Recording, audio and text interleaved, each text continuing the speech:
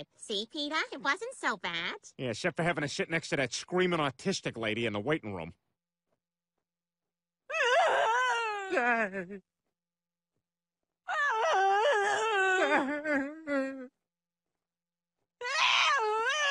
I don't know what you want. I don't know how to help.